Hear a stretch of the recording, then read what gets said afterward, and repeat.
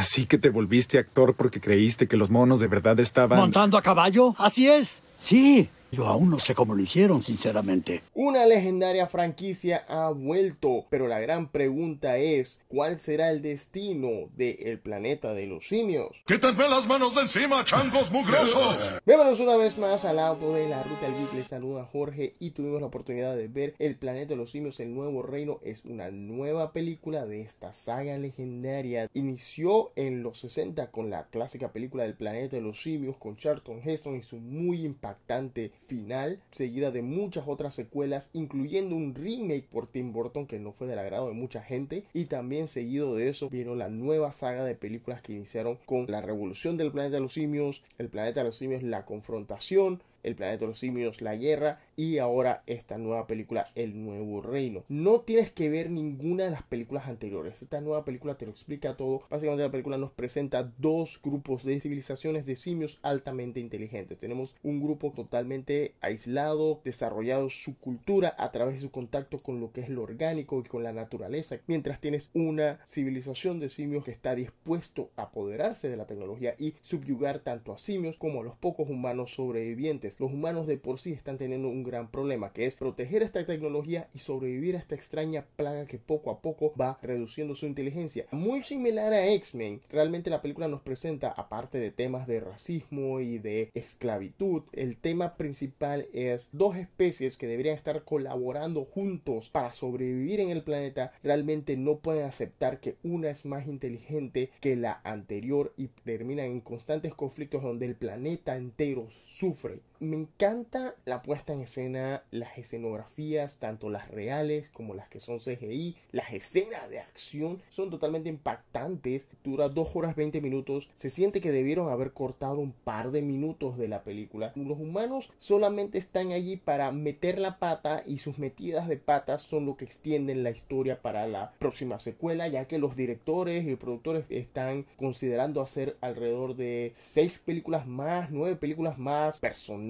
los simios, sí son bastante interesantes, sí son bastante carismáticos, tanto los héroes y también los villanos, los villanos especialmente Kevin Durant como Proximus que se parece mucho a Golila Grodd y a Solovar de DC Comics. El CGI funciona bastante en las tomas de escenografía, pero en ciertas tomas de expresiones faciales no está tan pulido. En los chimpancés funcionan, en otros personajes como los villanos no funcionaban tanto. Eso sí, es bueno saber que hay directores que están dispuestos a seguir el camino de James Cameron y presentarnos un mundo totalmente creado en CGI, pero al mismo tiempo mezclarlo con suficiente material práctico, palpable, sólido, que puede existir para darnos toda una realidad que no distingues bien qué es falso de lo real. La gran pregunta es hasta dónde puede llegar esta franquicia, tomando en cuenta que todavía no hemos tocado sutilmente el punto donde debería conectar para las películas originales, si es que eventualmente las van a conectar. Curiosamente es la segunda película que vemos este año de la que un simio CGI tiene que pelear contra otro simio CGI por el control de la civilización de simios en CGI. Pero es curioso que pasara dos veces, ¿no? Y también es la tercera película con temática de monos que hemos visto porque también tenemos la película Monkey Man. Muchas gracias por acompañarnos este review de la Ruta del Nos vemos la próxima. Dale like y subscribe.